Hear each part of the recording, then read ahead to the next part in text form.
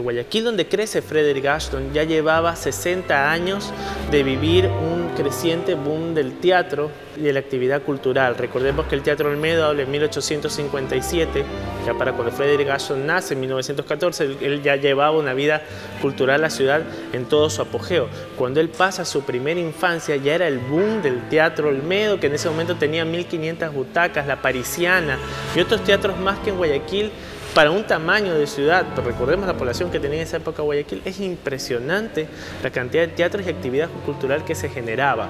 Eso lo marca él. Cuando en una de sus presentaciones en los años 80, donde se le rendía tributo, él recordaba con su licor de cereza tradicional el Guayaquil de las Peñas de ese momento. Él cuando ve a Ana Pavlova en Lima ya tenía una formación y un gusto por la cultura, por el teatro traída de Guayaquil. Entonces yo creo que se consolidó con esta gran capital de América Latina que es Lima, pero con este capital cultural que era Guayaquil de ese momento, yo creo que lo formó integralmente a él. Por eso él nunca olvidó el Guayaquil de esa primera etapa, el Guayaquil que lo marca, el Guayaquil de su infancia, el Guayaquil de su adolescencia. Él sale al Reino Unido, pero con una maleta llena de sueños y de una formación eh, romántica hecha aquí, en nuestras tierras.